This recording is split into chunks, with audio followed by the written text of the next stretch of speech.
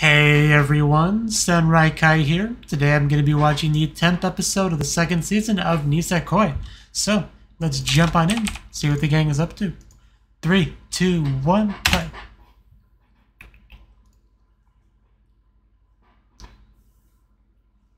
Okay, we're done with homeroom. I promise nothing. There's a gang.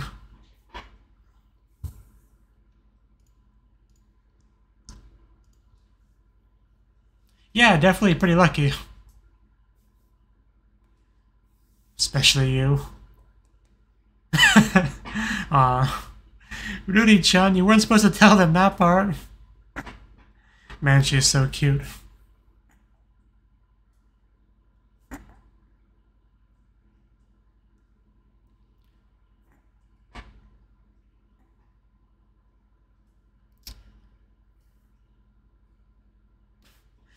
Stop trying to get rid of Shu.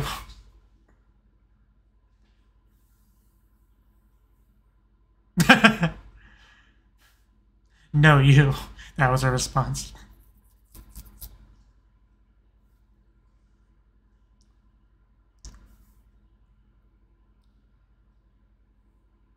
Uh, looks like Ichijo is.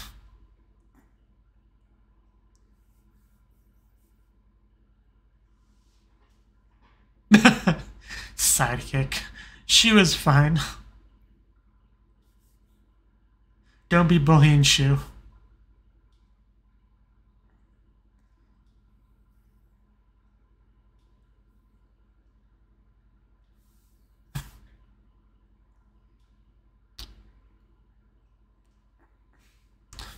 I don't know how I'm supposed to answer that question because I'm pretty sure it's you. I mean, I mean, Ruri's like the only girl on the show that's not part of Ichijo's harem.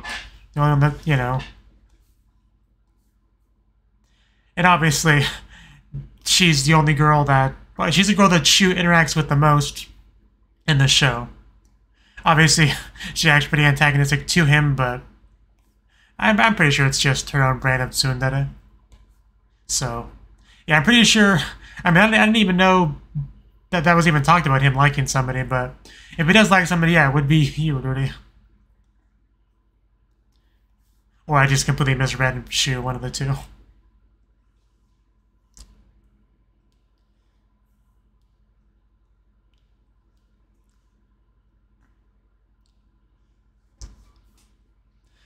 But yeah, I'm curious why Ruri even brought that up all of a sudden, because I don't think he... Like, what gave her that idea? Because he's always talking, you know, in general about the cuties around him, right? So just an interesting thing to say all of a sudden.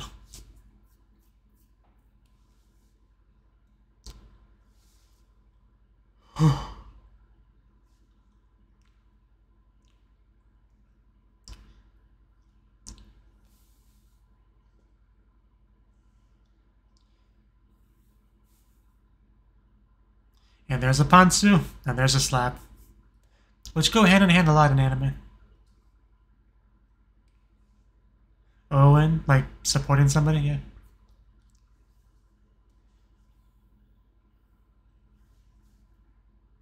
So apparently we are going to continue this.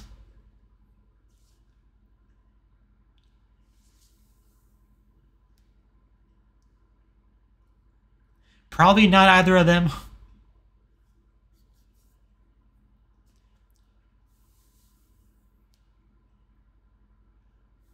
I mean, actually, I don't even know if Ruri gave him chocolate on Valentine's Day or not. She might have.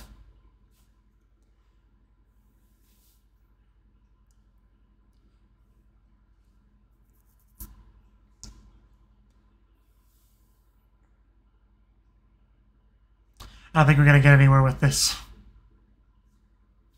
Nose itching.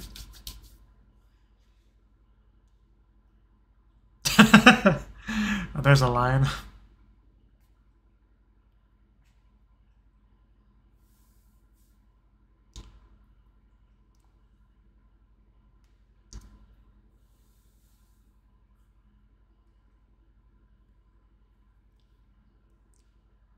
your approach is questionable, but I'll I'll see how it goes.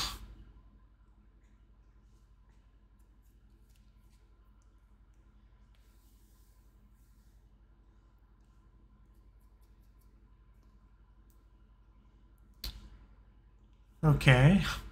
That's quite a way to describe somebody. It really wasn't. Apparently we are. There's nobody else but Ruri that he could possibly be talking about, though. I'm pretty, I'm pretty, ouch, confident in that.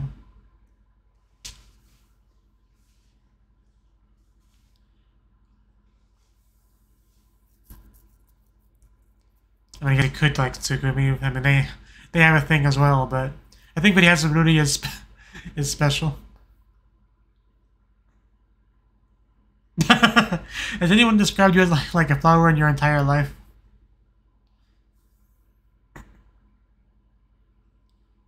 I don't think she was ready for that question.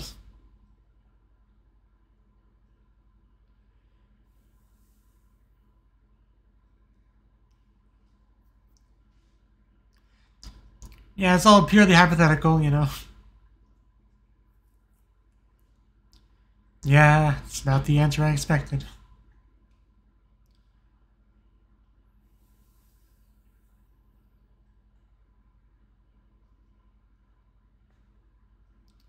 And it got kind of serious all of a sudden.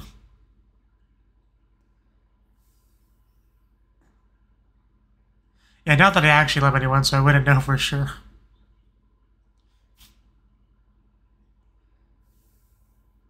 Yeah, that, that did sound like that. I wonder why.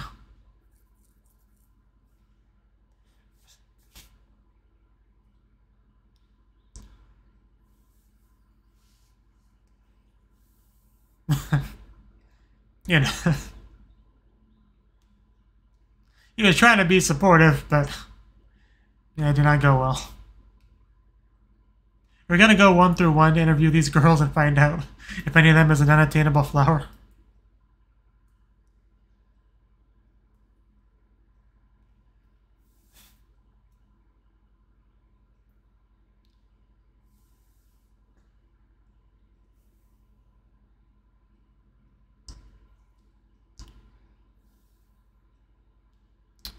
Happen? Okay, if that happened, I completely forgot about that.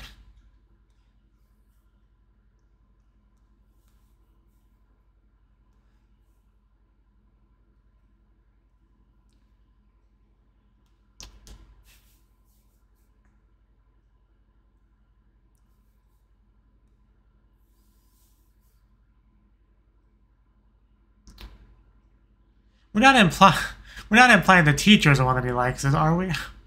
Because that would be, yeah, especially unattainable for a student.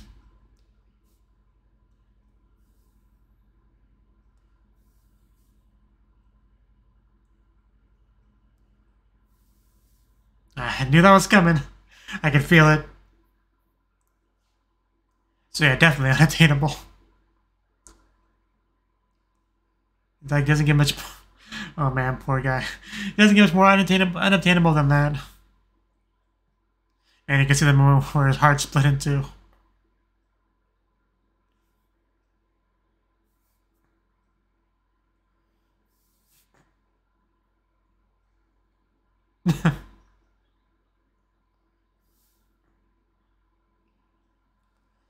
yeah, because if she has one he likes, this is kind of a tragic scene right here. I mean, I guess it would explain why they seem like they have a little bit had a little, little bit of emphasis on the teacher at the very first shot of the open of the episode. So yeah, it is looking like that's where we're going with this.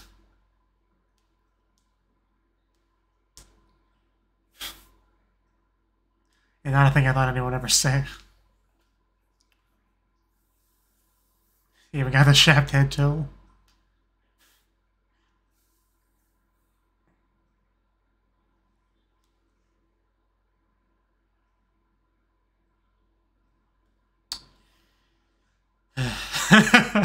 Those are some faces.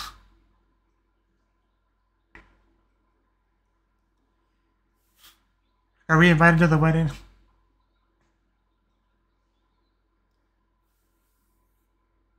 Definitely a big deal.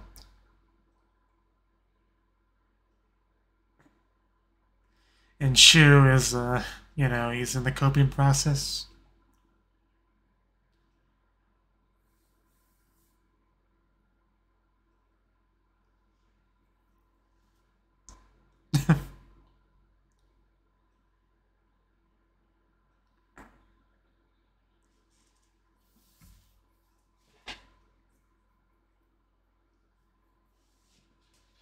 I might as well say it now.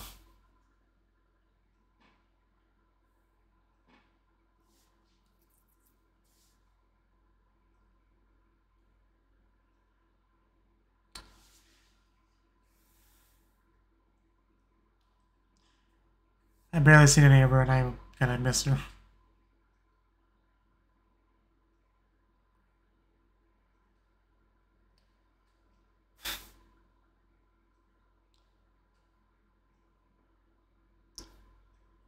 Definitely knows him well.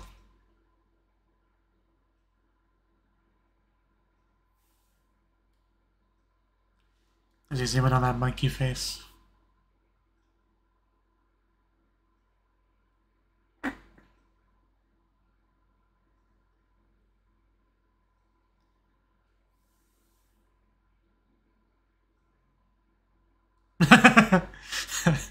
True enough.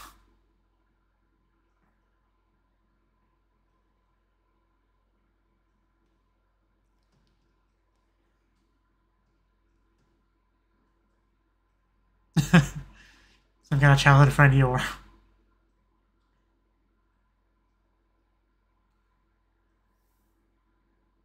Yeah, that definitely would complicate her life a bit.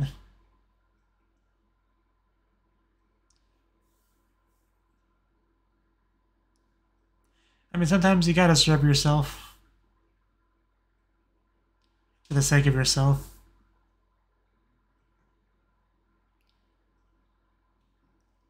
Man, it feels so weird having Shu be like the, the main character of an episode. But yeah, I, I feel so bad for him.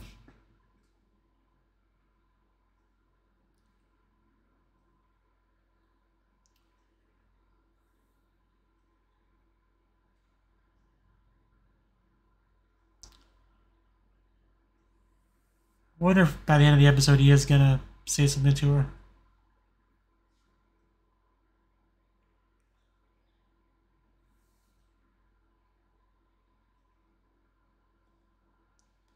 Would definitely be a regret for sure.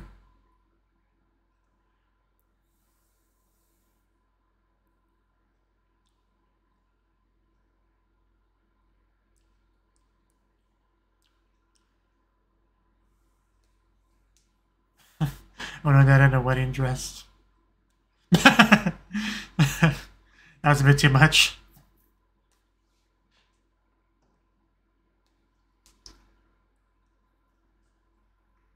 Oh yeah, I better shot a bit there.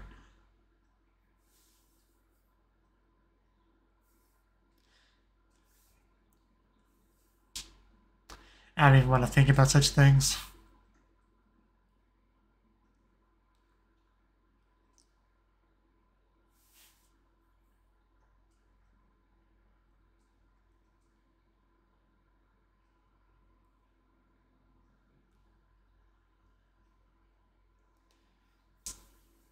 Well, it's still relevant to the episode, so yes.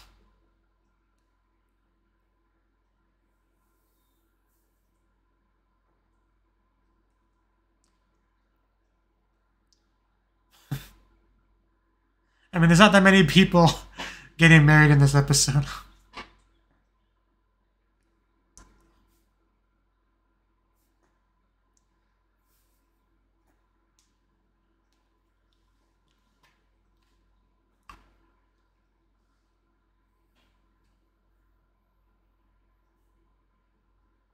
yeah, not too different than what we got from Shu.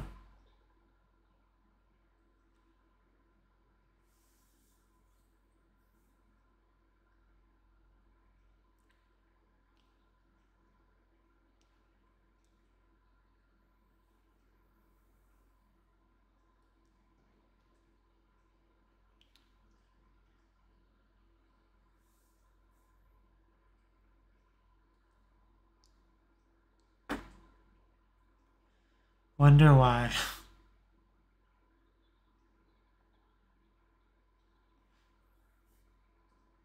The blush and the flailing the arms around is what really sells it.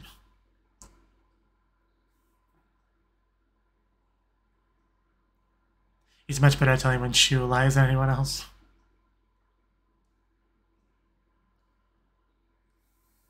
Is he better than Shu? What does he have that Shu doesn't have?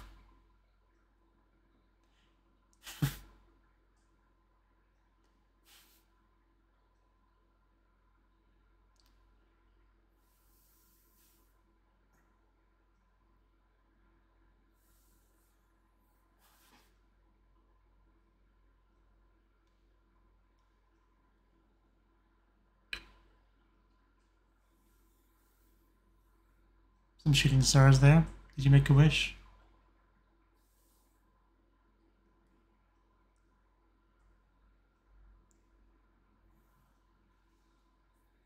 Are you sure there's nothing you want to tell her before she's gone?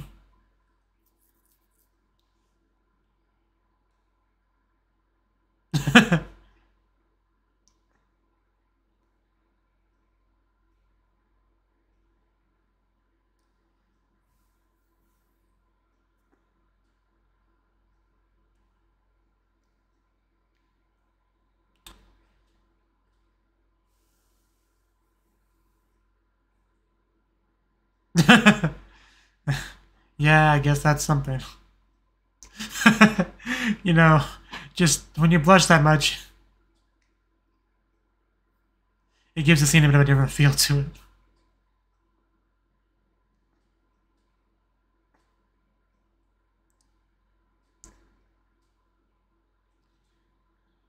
Oh, Tsugumi. What, what's up?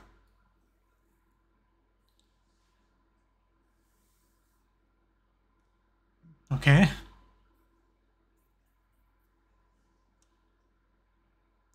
Is she gonna confess to him here? Or probably not, but...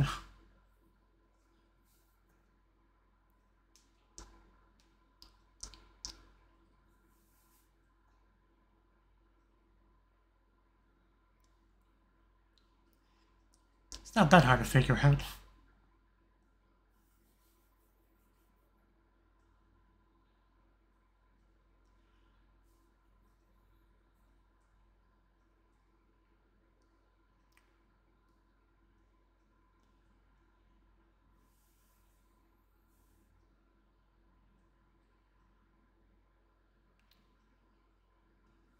Well, yeah.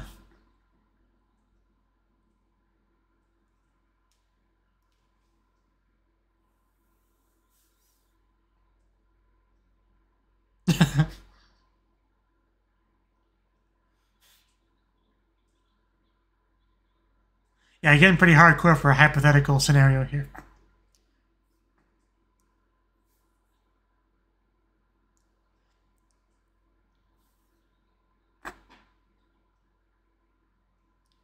Nothing much.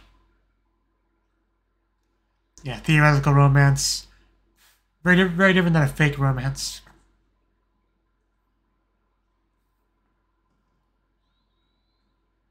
What a send off.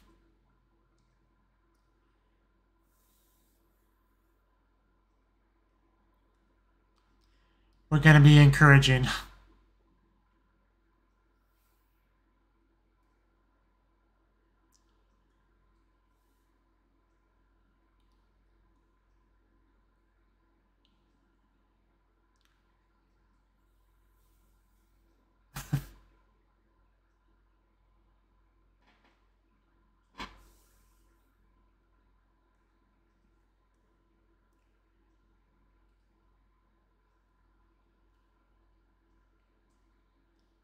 Yeah.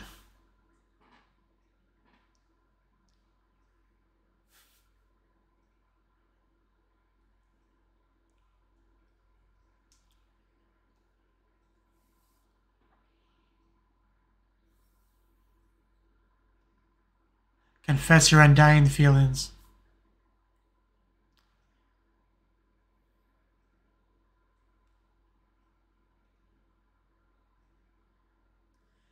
Not sure if that's true.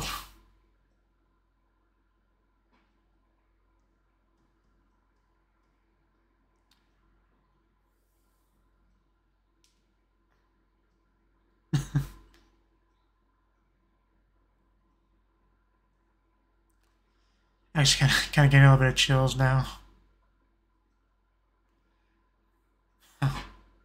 Give me one hell of a push. Like the open note. There you go.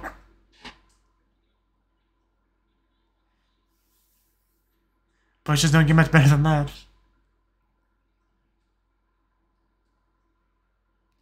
It's a weird thing though. Like I want to encourage him to do so, but like you know, it's not gonna change anything. So.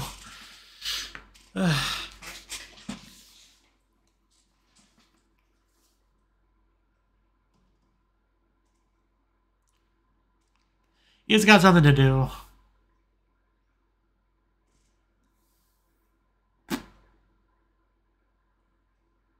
Everyone never seen him move that fast before.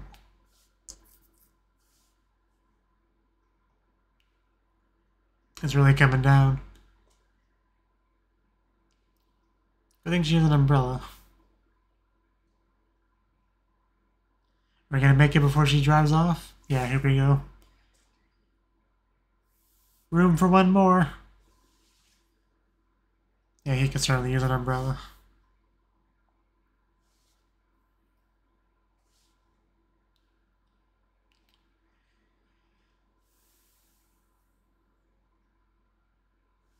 Uh, we're gonna mute it.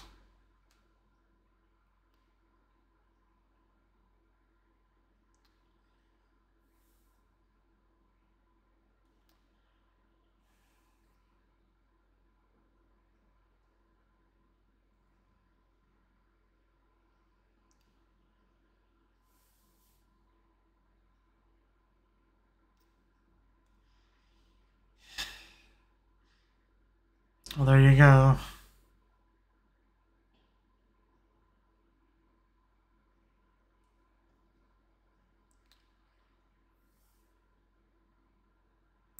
Do you feel better?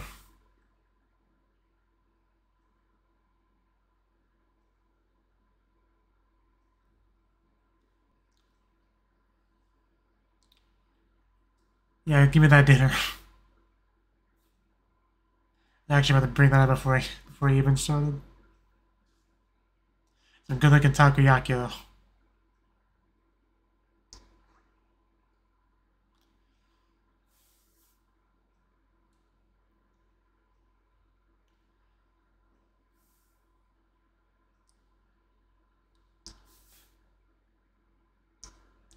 Yeah, you wouldn't do that, would you, Ichijo?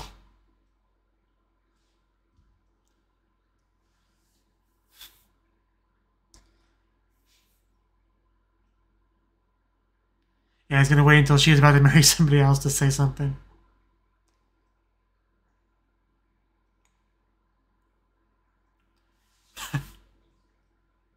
like a true childhood friend.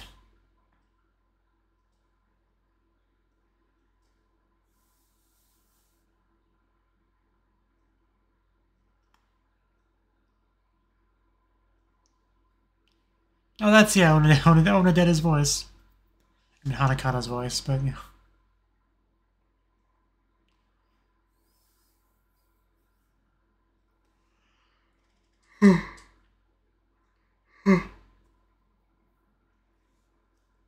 oh. Okay.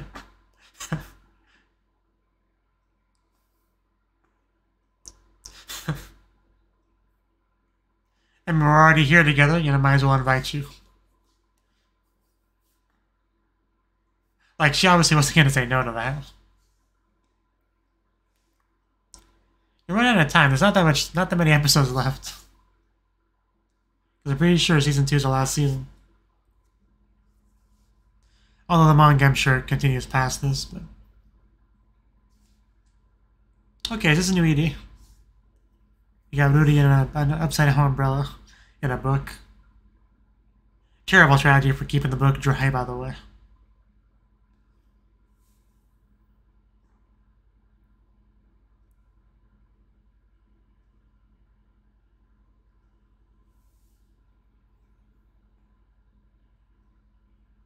Very colorful rain.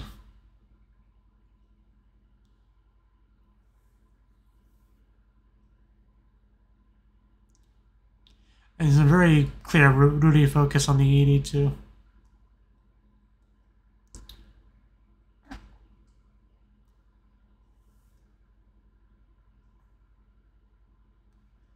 Look at that umbrella seeing better days.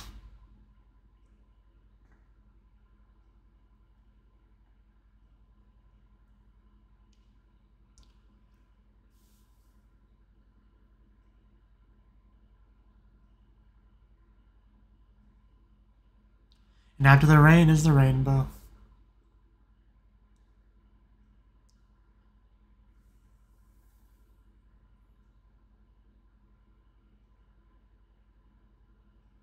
Yeah, that was a nice idea. I like that. of course, it's everyone.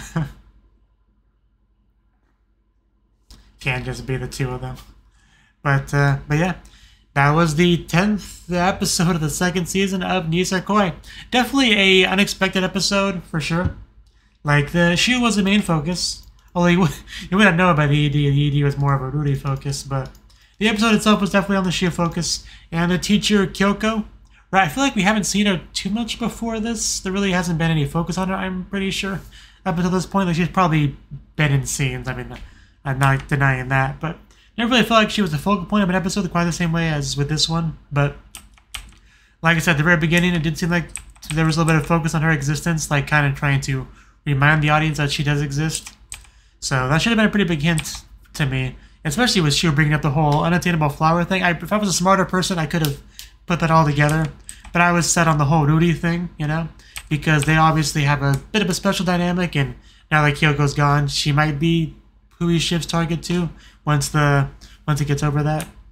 But, but yeah, I, I did not guess the teacher not until they were together in the one in the one episode in that one scene because I was watching it and after a few seconds passing, I'm like, because I'm sitting there kind of like processing it, like, is the teacher the one that he has a crush on? Because it made so much sense all of a sudden, but. Tsugumi also had a decent role in the episode, making it clear to Ichijo kind of what to do. Like that was basically her role was to allow him to be in a in a, in a position where he could give Shu the necessary push to give that love confession before before she's gone forever. Because yeah, Kyoko announced getting married and leaving the school and all that, and if he wanted to say something, it had to be before then. And he got it pretty close, but he found the taxi in the rain. He definitely got a cold after this episode, like without question. But it was nice to see kind of that bond between Shu and Ichijo. Because they are childhood friends, they do know each other pretty well, they are close, and it's good to have an episode that really can showcase that.